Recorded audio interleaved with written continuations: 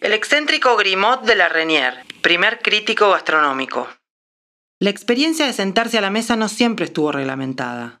Gran parte de las normas del buen comer las debemos a Grimaud de la Renière, abogado y periodista francés que en la época de Napoleón estableció las reglas de la buena mesa e inventó la palabra gastronomía.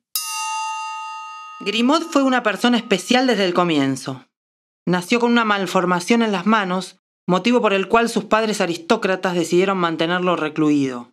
El único gesto amable de su padre fue encargar un mecanismo de pinzas que le daría a Grimaud la posibilidad de manipular objetos. En cuanto a su madre, prefirió no verlo jamás. Es posible que estas circunstancias hayan influido en el desarrollo de su oscuro y particular sentido del humor. El joven Grimaud aprovechaba la ocasional ausencia de sus padres para organizar cenas en la mansión familiar. Una vez, su padre regresó sin previo aviso y se encontró con un cerdo vestido presidiendo el banquete. Fue la gota que rebalsó el vaso.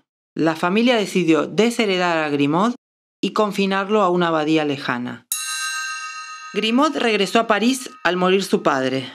De vuelta en casa, continuó explorando el mundo gastronómico de las formas más excéntricas se dedicó a simular cenas funerarias y conformó la ilustre y voraz Sociedad de los Miércoles, cuyos miembros eran nombrados de acuerdo a sus particularidades físicas.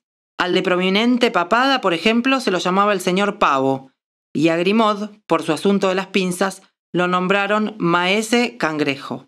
También fundó la Sociedad Universal de los Papamoscas, que se reunía a comer los días sábados. Llegó a organizar 465 comidas anuales, completamente financiadas por los dueños de los nuevos restaurantes parisinos. Grimaud introdujo la costumbre de cobrar por probar y criticar las creaciones culinarias. Inspirado en esas experiencias, publicó el Almanaque de los Gourmets y el Manual de los Anfitriones. Estas dos obras lo convirtieron en el primer crítico gastronómico de la historia.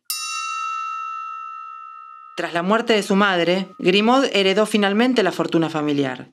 Se casó con su amante y organizó, antes de retirarse, su propio funeral para ver quién asistía. Cultura spirale. Cultiva tua idea.